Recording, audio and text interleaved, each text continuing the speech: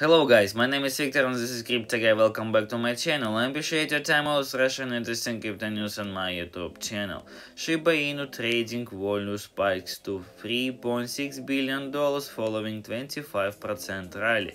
Shiba Inu price spike was followed by the strong increase in market interest after strong buying power was present on volatile wallets. Previously, whale activity uh, was highly present on the Shiba Inu market with the largest Ethereum wallet continuously operating with meme-based token.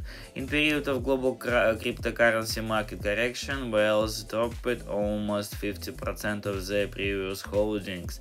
According to more actual data, whales have recovered their previous holdings and now own approximately 2 billion uh, worth of tokens. A part of Shiba Inu's whale holding have increased uh, drastically since its previous all-time high. Shiba Inu has been trading at 0.4088, its previous all-time high was only a month ago. It has lost more than 50% if uh, of its value since then, but due to the swift recovery of the altcoin market, Shiba Inu whales have started to push the token forward by buying significant amount on the market.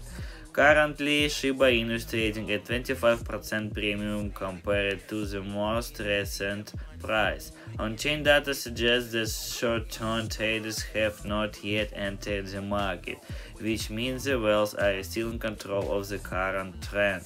Previously, U.Today reported that whales holding of Shiba Inu increased by 42% uh, in just one day, which was considered a strong fundamental indicator for Shiba Inu that showed rapid growth the next day.